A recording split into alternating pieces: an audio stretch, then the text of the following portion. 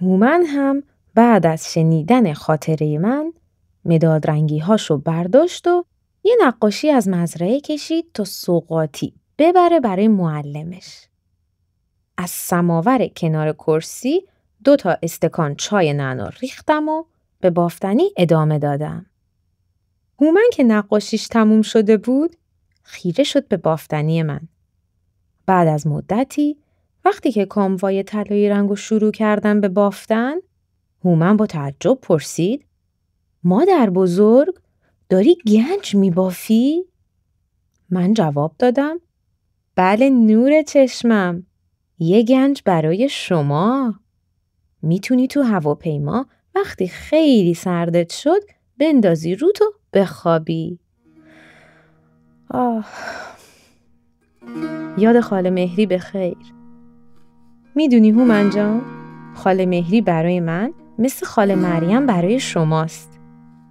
قصه خاله مهری من از یه شهری شروع میشه به اسم بم.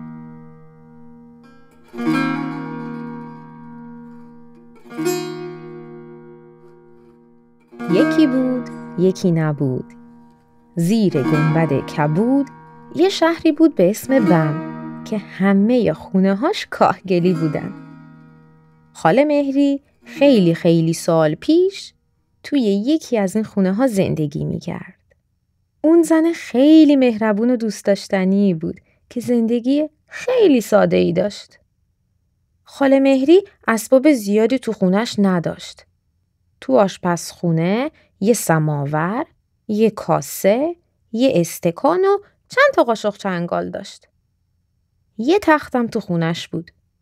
روی این تخت یه رو تختی خیلی قشنگی بود. مادر بزرگ خاله مهری این رو تختی رو براش سالها پیش بافته بود. موقعی که خاله مهری دختر بچه کوچولویی بود. این رو تختی یکی از زیباترین رو تختی های دنیا بود. نقشای درختای خرمای شهر بم با نخ طلایی رنگ روی این رو تختی دوخته شده بود. وسط این رو تختی یه دایره طلایی بود که مثل خورشید می درخشید. خال مهری این رو تختی رو که یک کم قدیمی بود و پاره پوره شده بود خیلی خیلی دوست داشت. شبهای بم خیلی سرد بود. وقتی خاله مهری می‌خواست بخوابه می‌رفت زیر این رو تختی قشنگ و خودشو با اون حسابی گرم می‌کرد و یاد مادر بزرگ میافتاد. اونقدر به رو تختی و مادر بزرگ و اون روزهای خوب فکر می‌کرد تا خوابش ببره. یه شب وقتی خاله مهری از مهمونی به خونه برگشت ناگهان دید که یه غریبه تو خونشه و دنبال چیزی میگرده. خاله مهری با دیدن اون غریبه تعجب کرد.